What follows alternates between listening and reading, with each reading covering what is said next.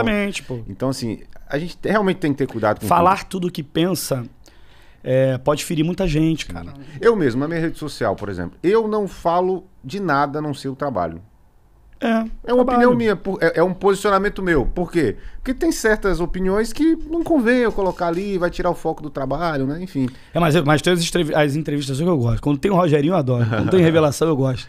É, não, o Rogerinho foi um dos que chegou e falou mesmo. Então, Então, mas assim, falando revelação, um grupo que eu tenho muita gratidão, aproveitando o ensejo. Pra tu ver como eles são, né? O, Rogerinho esses dias, Adriano, você pode contar com revelação pro seu audiovisual, só você falar e a roupa. Eu tenho muita gratidão pelo revelação. Porque foi quando eu era do Brincando de Samba, eles foram muita referência pra nós. Tenho muita gratidão pelo molejo. Que foi, eles foram uma referência muito grande pra nós. Quando eu falo revelação, eu incluo o Xande, tá? Porque. Né? Pra mim, não, não tem Xande de revelação. Pra mim, quando eu falo instituição revelação, o Xande tá incluído nela ali, pra mim. Porque eles sabem disso que eu vivi, né? Fiquei triste que o Pericles não, ia- não vai poder participar do meu DVD agora. Mas ele também foi muito caráter. Isso que eu acho maneiro. Outra coisa que é importante, aviso os artistas. Não dá, Dri, tô muito corrido, vou gravar agora um audiovisual, ele vai gravar um audiovisual lá em Recife, que é o Pagode do Pericão. sim, sim. Mas na- não, vai, não vão faltar oportunidades pra gente fazer. Foi muito generoso, porque eu sou amigo deles há muitos anos, né? Eles conhecem a minha luta há muitos anos. O Mumuzinho, também, que é meu irmãozão de muitos anos. Temos histórias lindas juntos. Tem uns artistas assim, cara, que tu não pode esquecer, né? Claro. Eu deixo como registro porque. Nossa, vou ficar aqui até amanhã. Sorriso Maroto. Já tive uma briga com o Fred, né? Com o Fred do, É. do Sorriso. Foi uma coisa assim, né? Um- me pare- Alguma coisa que eu tinha falado, escrito no... na época de o, o Twitter ainda estava Sim. ainda tava em- entrando em moda. E aí aquela música Mata Papai deles, ai ai ai. E aí tinha do Michel Teló, que se eu não me engano tinha uma Ah, sim, que era. Que eu não, não vou lembrar, assim, que tinha um termo parecido, né? É, alguma coisa parecida. E o compositor da música, que é o. Caramba, o Nico Andrade, que é meu amigo de muitos anos. E eu amo o Nico, que a gente é muito amigo mesmo muitos anos, mas muito- antes dele despontar como autor. Então, eu escrevi, eu acho, alguma coisa, alguma menção de uma canção com a outra. Sim, Entendeu? sim. E o Fred, é, eu não sei se ele interpretou que eu critiquei a deles, pra, fa- porque, sei lá, sabe? Sim. Querer comparar. Rolou uma. É, rola um estresse no hotel, a gente vai, mas sim, nós nos entendemos, que eles, Uhum. eles são maravilhosos, né? Sorriso Maroto, todos eles, muito educados. O Bruno, você vê, gentleman. Todos eles. E aí a gente se resolveu lá, falando pelo telefone. Falei, pô, mas se eu falei alguma coisa que magoou, me desculpa e tal. Ele, ah, não, tudo certo. Mas tivemos um impasse, que eles sempre tiveram muito. O o Fred tiveram, eles tiveram muito carinho, sempre tiveram muito carinho comigo. Abriram muitos shows do Brincando de Samba. Aos ver eles número um assim, a gente fala, poxa, era pra ter sido o contrário. Brincando de Samba abriu o show do Sorriso Maroto. E é um grupo que a gente respeita, né? Pela, por onde chegou, né? Que eu vi o começo da carreira deles, eles também a minha. Mas sou muito grato a todos eles ali também. Hum, Nossa, muita No gente. caso do Péricles que você falou, você convidou ele então, aí ele prontamente informou É, mas o, que o não que, é, o, que é, possível, o, que, né? o que é legal, cara, quando, o que eu só falo, quando tem. Não tem papinho, Sim. Não tem enrolação, não tem set. Tem artistas que eu sou que eu me considero amigo, mi- amigo há anos.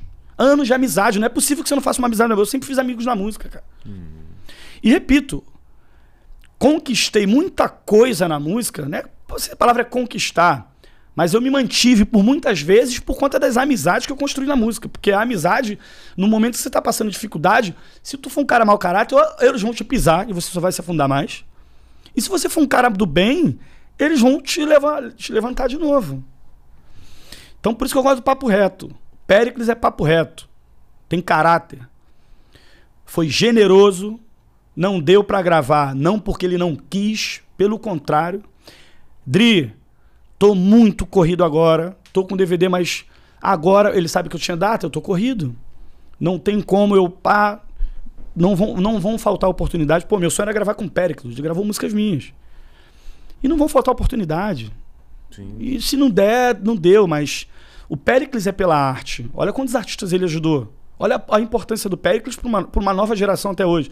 Não digo nem por tudo que ele fez. Eu gravei um projeto junto com ele, produzido pelo Rio do Hora, Eu, Você e o Samba, onde estava eu, Maria Rita, é, Zeca e Martim da Vila, ó, os feras. Sim. E eu era o artista mais novo ali. A Ana Clara também estava comigo, né? Que a gente estava revelando ali.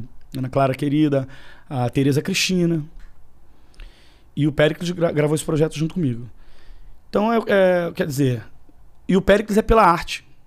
Gravou com o Vitinho, olha a contribuição que ele teve na carreira do Vitinho. É, gravou com bom gosto. E entre tantos e tantos outros. Muito generoso. Péricles é muito generoso. Que coração gigante, cara. Que coração gigante. É. Porque eu sou. Eu, eu, eu era amigo do Thiago primeiro que ele. Fui amigo do Thiaguinho primeiro. É, tem muita história. Nossa.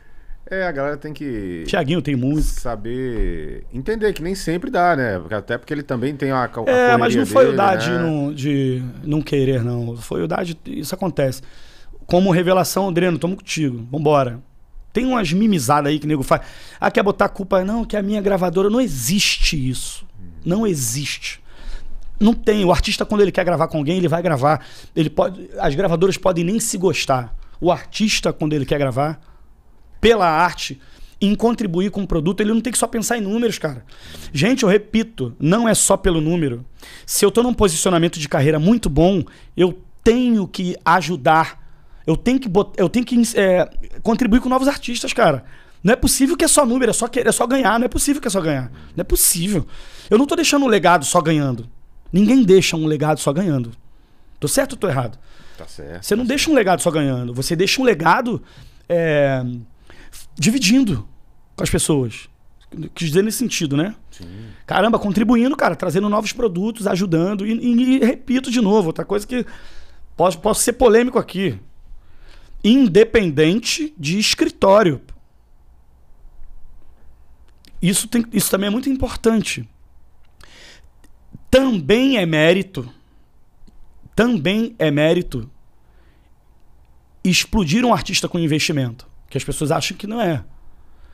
Pô, mas o fulano tem empresário X. Mas o fulano não. Mas é mérito investir no que deu certo. Sim. Isso, isso, isso é uma coisa muito importante dizer. Não, mas eu, Ad- Adriano Ribeiro, foi criado nas ruas. Ninguém nunca botou não sei o quê. Então só é mérito porque você sofreu sem um real. Esse cara tem que ter noção de que você, você pegar o seu dinheiro na cabeça de um investidor e, e fazer uma aposta, essa aposta dar certo, isso é mérito, cara.